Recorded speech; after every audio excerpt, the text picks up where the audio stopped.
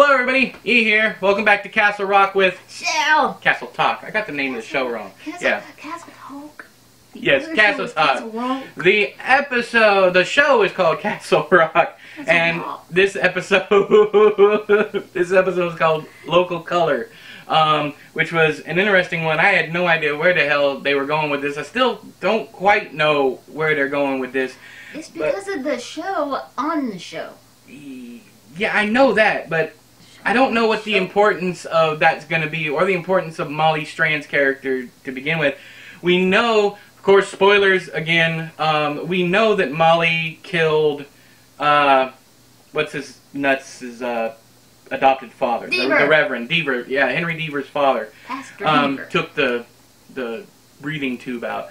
Also, we were wrong in the first episode. Uh, we thought that the uh, father that died was Henry's original father, Yeah, I was kind of upset. biological father, but it was actually the Reverend. So uh, we did catch that in the second episode. Yes. yes. But um, the some some interesting things with with that is we still don't know what happened with his family life. So Exactly. I'm, I'm still wondering how that came about. I mean, if he was living with them when all that stuff happened, then I mean, was he born in? In Maine, or was he adopted somewhere else? Was he living in Texas when he was a kid? I mean, Now, is that why he does went he back? have some kind of past that caused him to go into the system and then Yeah. he got adopted out of the system? that that stuff. Um, Questionable here. We find out Molly Strand is an empath. Uh, she hears memories and can feel other people's feelings. There's several different uh, scenes like that. Uh, one of the more interesting ones is when they're younger and she clenches her fist when he clenches his fist. Um, and then uh, what? What was some of the other Oh, stuff? he When, burnt himself and she Yeah. felt it. uh, with with what the match? Yeah. Yeah. Yeah. Um, and then when he's talking to her, when he first meets her again after he's come back, and they're talking, and she's just completely, she can't pay attention to what he's Yeah. actually saying, and he takes it the wrong way. I actually like that scene Yeah. quite a bit. Um, and she, Molly, the the lady who plays Molly, um, was in another movie. What what was it called? Netflix. I don't feel comfortable uh, in this world anymore, or whatever. at home anymore, But that- something like that. Another she played another really awkward lady, not Gets her heart very social and all that stuff. It's uh, it's interesting to see her play that character on something different and how that character fits into this world. But not only that, but on that show, she gets bro- her house gets broken into too. Yeah, so it was right weird. It's kind of like a deja vu thing for me. Um, I'm pretty sure I have to find Needful Things the the movie, but I'm pretty sure Molly Strand is a kind of like um, maybe not even not a twinner, but maybe um, I don't I don't know how to put it. Maybe she's another version of Polly Chalmers um, from Needful Things because she's wearing a necklace that r- reminds me very strongly of the necklace that Polly wears in the movie Needful Things. She gets a, a necklace also in the uh, in the book, but in the movie specifically, I think they use the same necklace, and she fits the description other than she doesn't have the arthritis. But I'm wondering if maybe you know th- there's a little throwback there also. Um, I thought I caught something with the dates that are mentioned at one point in time. Um, it's 11 22 uh, 89. Yeah. Uh, he sets on, fire on the videotape. on the videotape Yeah. that he sets fire to, and um, of course that's 26 years I from want 11 what was 22 on that 62. tape because he says something along the lines of cursing out his dad as he's burning the tape. Yeah. So it's like, okay, uh, what'd you just do? Right. Um, but that is 26 years. I, I did the math wrong there at first. I thought it was 27 years between 11 22 63, which is another one of Stephen King's books. Um, but it's only 26 years. I was like, is there some kind of Pennywise thing they're throwing in there? Because Pennywise comes back. Right. Then again, there would be 26 years in between. If it's every 27 years, Right. there would be 26 years in between, and he would be coming back on the 27th year. So, So is there something there? I don't know. be cool. yeah. Was though. Um, but the book, it happens in 56, I think. So that would screw up the timeline there. Unless, of course, they're shooting for the timeline of the reboot television series, and that's in Ah. 86, I think. It's somewhere mid '80s. I don't, I don't remember. We'd have to, I'd have to do the math.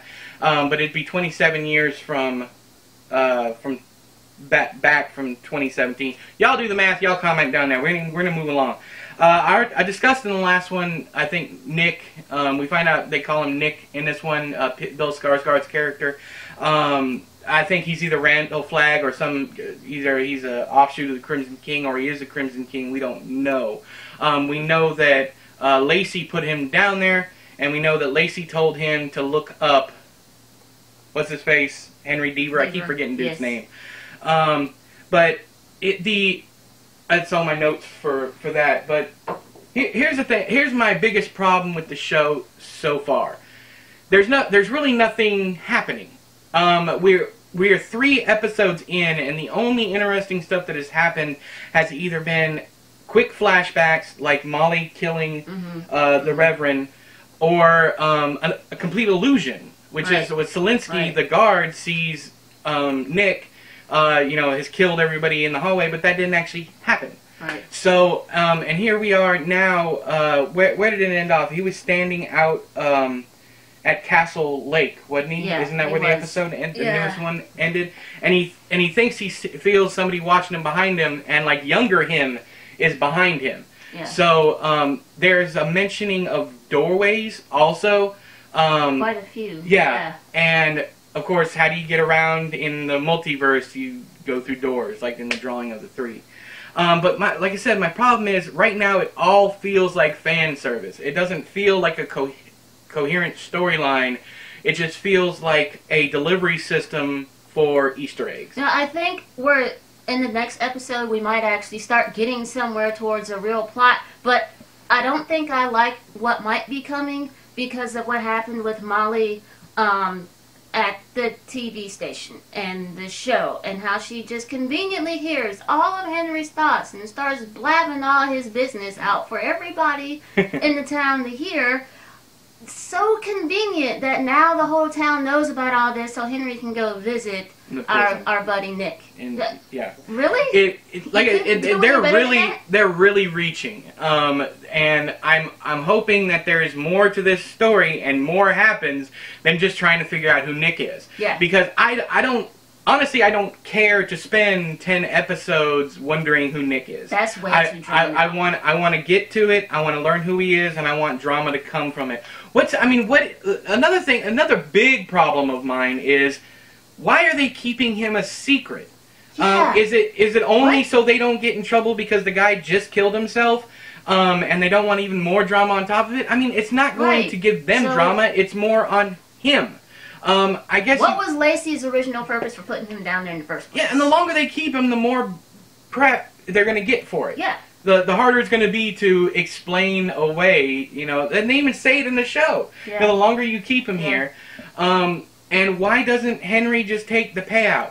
Um, I mean, what the there? I don't like his motivations. Is he is he only? I mean, if I were Henry in his position, I wouldn't want to deal want to deal with these people treating me the way that they have been since I got back in town. You take the money and you run, so you don't have to deal with their crap. Yeah, and I don't I don't think that the mystery of where he went as a kid is a strong is strong enough to carry it either. No. There is nothing so far other than the amazing Easter eggs. They haven't Um, dropped us enough clues to make us actually interested. I would really like to hear if anybody out there is watching this show and is not a Stephen King fan like Chelle. Are you enjoying it? I mean, is there? I see because the reason why I'm enjoying it is because I'm enjoying the Easter egg hunting.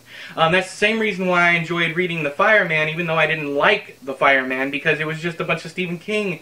Um, even though it was a Joe Hill book, it was just a bunch of Stephen King uh, Easter eggs. It was a fun experience, but it wasn't a good story on its own, and that's what I'm feeling now. Exactly. Um, it's not holding up. I mean, it's cool to be able to pick out some things from like the old TV miniseries shows and stuff, but so far I'm just kind of like, well, this is happening. Uh, the the thing is, it feels like somebody had this really threadbare plot over here on the side and said, let's slap Stephen King's name on it and let's use this to deliver, you know, fan service. Um, because if there if there wasn't the Easter eggs, nobody be what. Let's be honest, nobody would be watching this show. If this No. didn't have Castle Rock on it, people would probably have quit after the first episode. Um, at least I would have because it's just not my thing. Um, the mystery, I don't think the mystery is strong enough, so I'm hoping that there's more to it. We have seven more episodes to go, and hopefully more seasons after that. Because I'd love to see some Dark Tower stuff. I'd love to see some. Uh, I would love to see a Leland Gaunt storyline. I would love to see Needful Things again, but I'm also not sure of the timeline. You know, is the timeline or is it an alternate uh, history? Was it another turn of the wheel kind of thing, or did Needful Things already happen? Are we on a modern timeline and those things actually happen? Because we know and we had and Cujo. with the flashbacks, they're not tying anything together, and it feels like they're just jumping from one time to another and Yeah, going it- back, and it's like Nothing's fitting. there's there's nothing cohesive here, and it, Right. it gets a little confusing. I, I think that's I think that's the the main problem that I'm having is you know there's nothing that's holding everything together. Yeah. Right now, like I said probably three times already, it's a delivery system for Easter eggs. That's it. So yeah. anything else? No, I'm good. Okay, so uh, this was the third episode. We were talking about local color of Castle Rock on Hulu. If you guys found anything that we did not talk about, if you wanted to talk about whether or not you're liking it or not liking it or whatever, if you're indifferent to it, if you're not even going to watch it, let us know down there in the comments below. But until next time, I have been E, you have been you. This has been Castle Talk with. Chelle. We'll see you guys later. Bye bye. Bye.